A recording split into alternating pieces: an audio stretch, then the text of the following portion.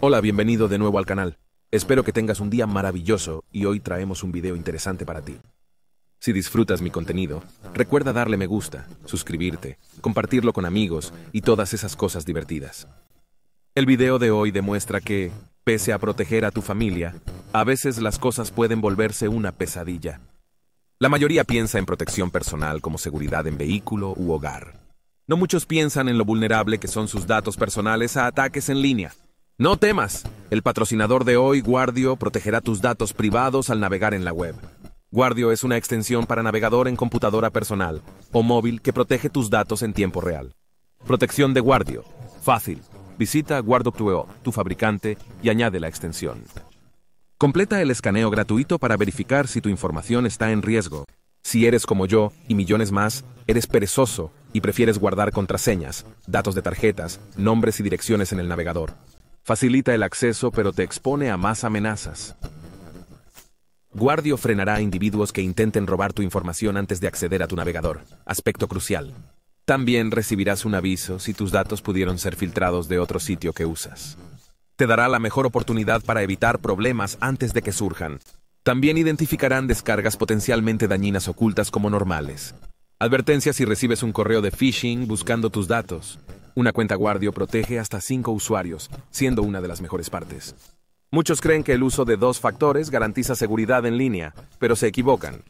Si un ladrón accede a tu PC, podría burlar tus autenticaciones de dos factores y controlar tus cuentas sociales. Esto puede ocurrir con malware proveniente de anuncios en Google, Facebook y YouTube. Y hasta a los mejores youtubers o streamers les ha pasado. Haz clic en mi enlace abajo para 20% descuento en suscripción mensual de Guardio. Ve a guarda.com wow, tu creador, y revisa el plan Premium asequible para protección total. No esperes a filtrar tus datos, obténlos hoy y ten tranquilidad. Doy un gran saludo a Guardio por patrocinar este video. Y sin más preámbulos, comencemos. Jorge George Haig, conocido como el asesino de la bañera ácida, nació el 24 de julio de 1909 en Stamford, Lincolnshire. Su familia se mudó más tarde a Outwood, West Yorkshire, donde vivió los próximos 24 años de su vida. Sus padres, Juan y Emily Haig, adoraban a su hijo y protegían lo mejor posible de influencias externas. Criado en un hogar conservador y religioso, como miembro de los Hermanos de Plymouth, una secta protestante. Para protegerlo, construyeron una valla de 2 metros y 13 centímetros alrededor de su hogar, no querían que Juan trajera a casa a nadie o nada que manchara sus vidas puras. El padre de Juan, un hombre riguroso e imponente, le recordaba frecuentemente que Dios lo observaba, mencionando que una mancha azul surgiría en su frente si decía mentiras o hacía actos malvados. Juan confió en su padre por un tiempo y permaneció en el área segura bajo la supervisión de sus padres. Pero en esta soledad, Juan se volvió más solitario y desconectado del mundo real. Con pocas distracciones, Juan se enfocó en sus estudios. Era un niño brillante y excelente en casi todas sus actividades. Desde joven, habilidoso en piano, luego amante de música clásica. Mediante esfuerzo, Juan ganó dos becas estudiando y fue niño corista. A simple vista, Juan parecía el niño ideal, cumpliendo rigurosas reglas de sus padres y esforzándose en estudiar y obtener buenas notas. Pero nadie sabía el resentimiento que estaba fermentando dentro de él. Comenzó a decir mentiras blancas para ver si lo marcaban pecador. Cuando no llegó ninguna marca, Juan se volvió más audaz, mintiendo y bromeando con su familia. Robó objetos pequeños en casa, consciente de que no lo atraparían. Los padres desconocían el cambio en su hijo, haciéndose Juan sentir invencible. En realidad, la supuesta pared protectora de los padres de Juan era una prisión, impidiéndole tener una vida más rica y mejor. Cansado de vivir simple, deseaba más de lo que el mundo ofrecía. No dejaría que sus padres lo retrasaran más. A los 17 años, concluyó la escuela y aprendió en una empresa de ingeniería de motores. Era lo bastante inteligente para el trabajo, pero no le dio la satisfacción esperada. El pago era bajo y aún vivía en la casa donde estuvo atrapado por mucho tiempo. Después de un año, Juan dejó su trabajo en la firma y se fue a la aseguranza y publicidad. Como en el empleo previo, Juan se decepcionó con el salario que ganaba. Sabía que no hallaría un mejor empleo en ese momento, pero aún deseaba más que la vida promedio. La única manera de lograrlo era obtener más dinero. Entonces Juan empezó a robar de la caja en su trabajo. Pero sus empleadores sospecharon. Al no poder ignorar la pérdida de ganancias, despidieron a Juan. A los 21 años, Juan ya sabía que no podía trabajar para alguien más. Él necesitaba dejar su huella y a su manera. Aquí las mentirillas y hurtos se convirtieron en fraude. En ese momento, Jorge dejó la iglesia de sus padres. Era un hombre adulto, sin necesidad de seguir complaciéndolos. Mientras tanto, conoció a Beatriz Hammer, una chica opuesta a lo que le enseñaron sobre mujeres. Ella era hermosa, era extrovertida y era diferente. Tras meses juntos, la pareja decidió casarse. Beatriz se enamoró del encanto y los modales de Jorge, aunque en el fondo sentía que apenas lo conocía. Pese a las dudas, contrajeron matrimonio el 6 de julio de 1934. Las cosas entre los recién casados fueron difíciles desde el inicio. Los colores reales emergían y apenas toleraban al otro. Vivir en casa de los padres de Jorge tampoco ayudó. Para agravar la situación, meses después de casarse, la estafa de Jorge lo alcanzó. Fue arrestado y condenado a prisión, su esposa, sin saber de las actividades ilegales de Jorge y embarazada de su hijo, lo vio ser sentenciado. Ella tuvo una niña mientras Jorge estaba preso. No toleraba ser madre soltera con esposo convicto. Tenía solo 21 años y sentía que podía cambiar su vida. Entonces ella decidió dejar a Juan. Cuando Beatriz fue a visitar a Juan en la prisión para informarle que quería un divorcio, Juan no le dejó tener la última palabra. Le mintió diciendo tener otra esposa, que su matrimonio no importaba y que podía irse. Quería que ella pensara que no significaba nada para él. Beatriz se divorció de Juan y dio en adopción a su hija. Juan no vio a su hijo. Al oír la noticia, su familia no pudo vincularse con alguien pecador como él, y lo desheredaron. Tras liberarse, Juan fue encarcelado de nuevo por fraude en alquiler de autos. Cumplió 15 meses de condena.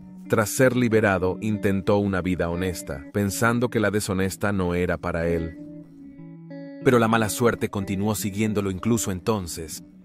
Abrió una tintorería, pero fracasó tras el asesinato de su socio en un accidente de moto. Esto dejó a Juan más desesperado. Honesto o mintiendo, nada parecía funcionar. Juan decidió mudarse a Londres para un nuevo comienzo. Consiguió un trabajo como chofer para el rico dueño de un parque de diversiones, Guillermo Maxwan, y le ayudó a mantener sus máquinas de entretenimiento. Ambos congeniaron y se hicieron amigos. Guillermo confiaba en Juan.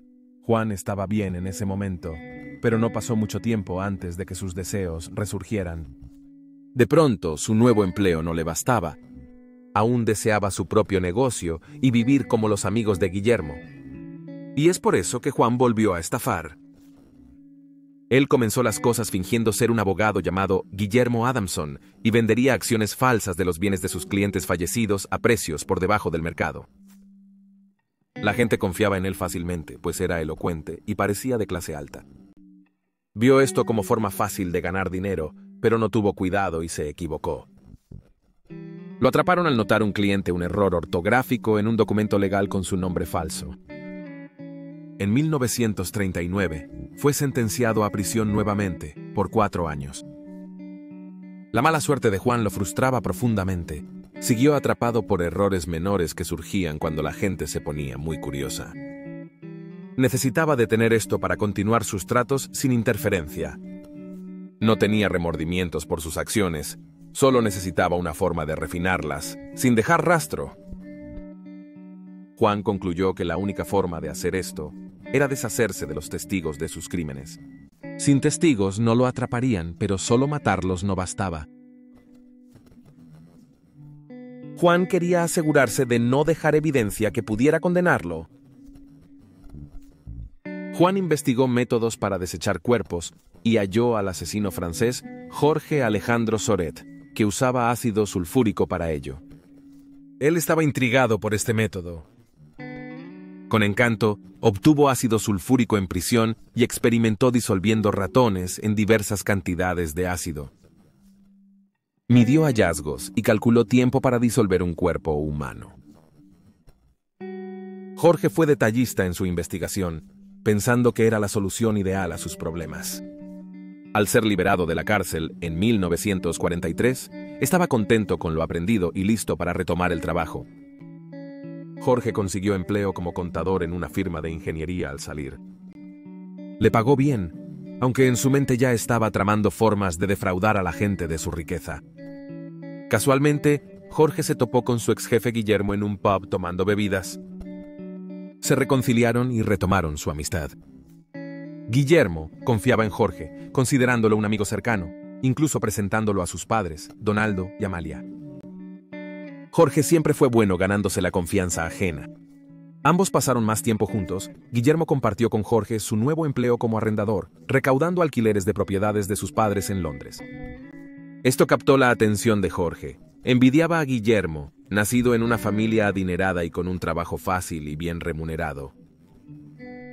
Guillermo vivía la vida que Jorge siempre soñó. No podía quedarse viendo a alguien vivir su sueño. Lo quería para sí.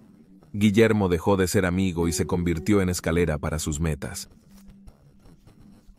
Esta era su oportunidad de regresar a la cima. Jorge planeó reemplazar la vida de Guillermo siguió fortaleciendo la confianza entre Guillermo y él. Descubrió datos cruciales de cuentas y negociaciones financieras de Guillermo. Fue con Guillermo a cobrar alquiler, mostrando cercanía con inquilinos y ganando confianza. El 9 de septiembre de 1944, Jorge llevó a Guillermo a tomar algo. Entonces persuadió a Guillermo a ir juntos a uno de sus talleres. Él lo atrajo al sótano y una vez allí, Jorge atacó a Guillermo destrozando su cráneo. Guillermo, algo intoxicado y desprevenido, era su amigo. No tuvo oportunidad de defenderse. En su intento de llegar a la cima, Jorge mató a su amigo de confianza, ahora su primera víctima. Finalmente pudo probar la investigación que había realizado en la cárcel. Puso el cuerpo de Guillermo en un tambor de 150 litros y lo llenó con ácido sulfúrico concentrado. Jorge usó máscara de gas y guantes para evitar lesiones. Después de sumergir el cuerpo, siguió con su vida. La sensación de invencibilidad de mi infancia había regresado. Nadie lo detenía. Después de un par de días, volvió al taller a revisar su trabajo. El cuerpo de Guillermo no era más que una masa grasa. Vertió los restos de Guillermo en una alcantarilla, marcando su fin. Mientras tanto, Juan mintió a Donald y Amy diciendo que su hijo se fue a Escocia para no ser reclutado en la guerra. Habían visto lo cerca que Guillermo estaba de Juan y le creían. Finalmente, Juan pudo tomar el dinero y estilo de vida de Guillermo sin ser descubierto. Eufórico por su éxito, se mudó a la casa de Guillermo y cobró el alquiler a los inquilinos. Los padres de Guillermo no cuestionaron esto y lo vieron como un querido amigo ayudando. Juan sostuvo la mentira enviando cartas falsas a Donald y Amy, de parte de Guillermo. Esto funcionó un tiempo, pero meses después, en julio de 1945, cuando la guerra casi terminaba, la familia de Guillermo empezó a sospechar. No entendían por qué su hijo no regresaría, y Juan, asentándose en sus vidas, empezó a sentirse extraño. Algo estaba mal. Al ver la duda de Juan, supo que era momento de eliminarlos. Los atrajo al taller diciendo que su hijo volvió y quería verlos allí. La pareja creía esto sin saber que era la última cosa que harían. Los asesinó en el sótano y los deshizo de la misma manera que hizo con su hijo, sin dejar nada atrás. Su suerte parecía estar cambiando ahora. Sin los padres, Juan controlaba totalmente la vida de Guillermo. Hábilmente forjó firmas y ganó control sobre propiedades y posesiones. Él fue a vender todo y se hizo una gran cantidad de dinero para financiar su vida ahora lujosa. No podría ser mejor para él. Él se mudó al prestigioso Hotel Onslow Court. Para quienes lo conocían, Juan era respetuoso y encantador. Amante de las artes, asistía a conciertos regularmente y vestía ropa a medida, luciendo siempre lo mejor. No parecía un asesino. Con el tiempo Juan se sintió más cómodo en su nueva vida y empezó a jugar, y pronto el dinero obtenido empezó a escasear.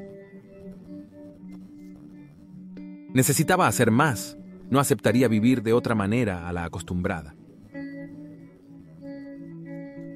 Su avaricia lo dominó. En 1947, Juan conoció a una pareja adinerada, Rosalía y Arquímedes Henderson.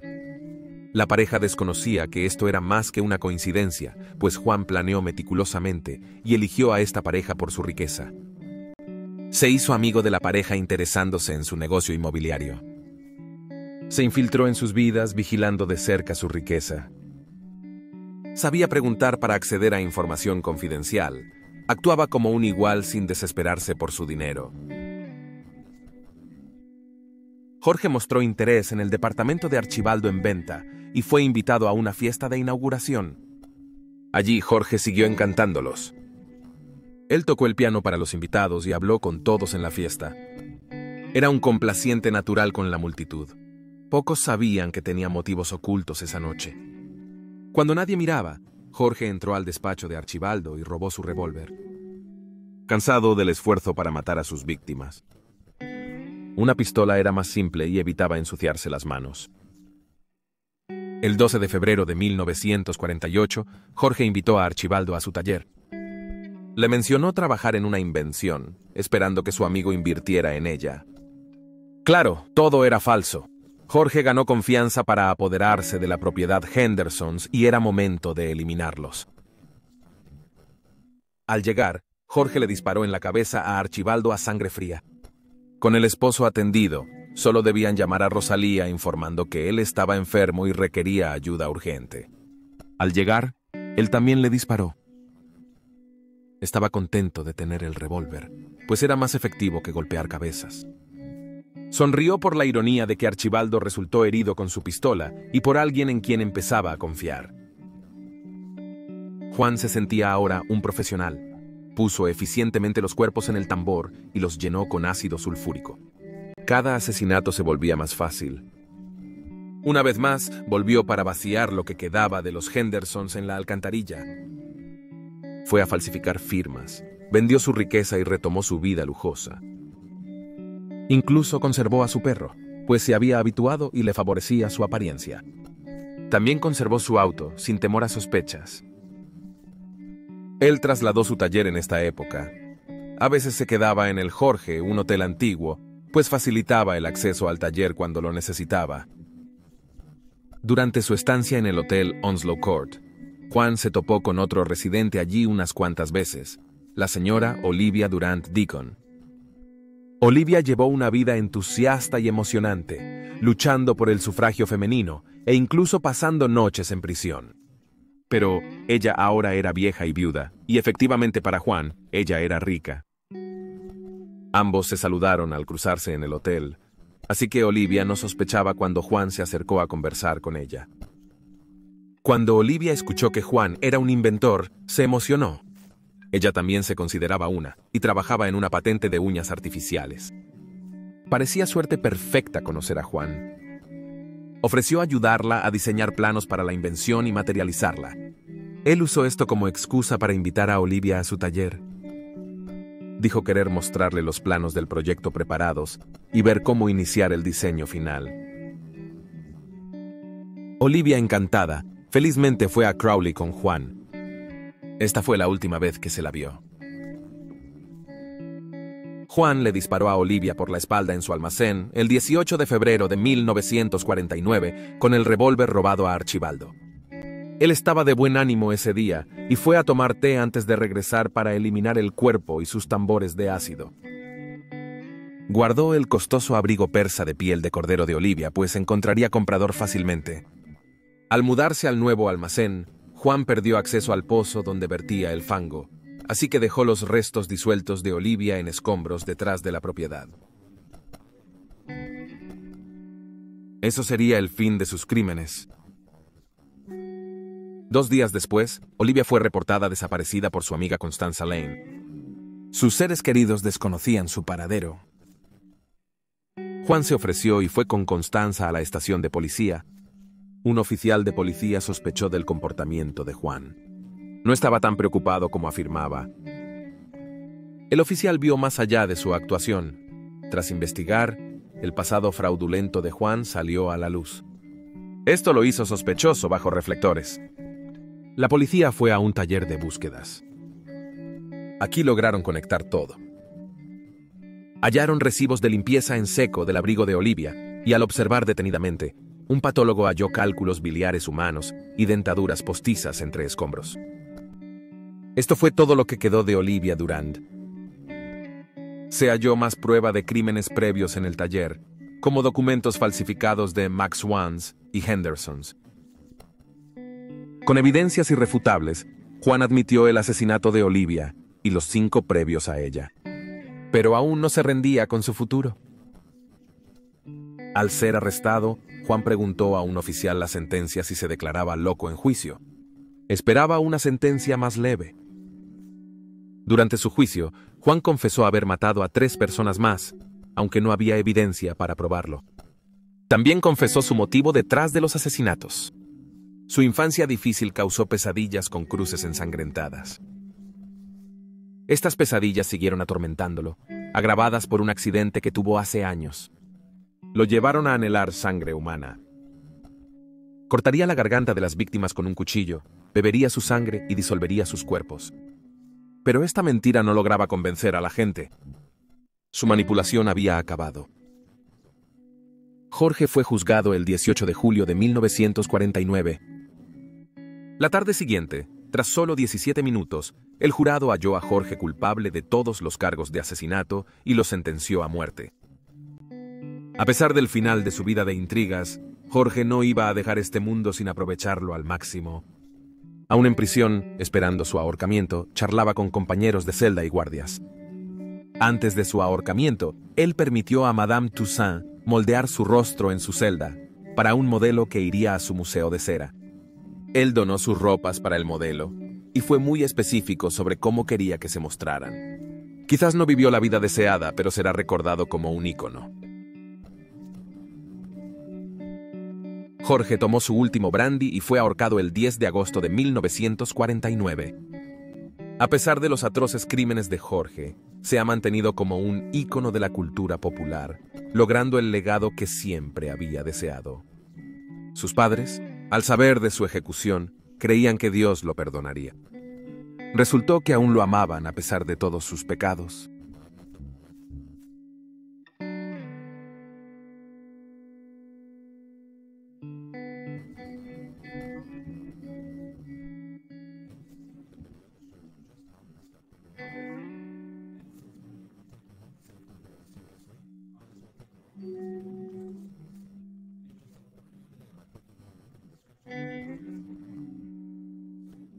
Un momento, no sabía cómo YouTube reaccionaría. Decidí investigar. He visto a otros cubriendo diversos asesinos de baño ácido, pero como mencioné, quería tratar este tema desde hace tiempo. No precisamente una llamada al 911 o grabación de interrogatorio, pero a un perturbador. Espero que todos estén seguros. Nos vemos en el siguiente video. Y recuerda, siempre es más aterrador si es verdad. Adiós.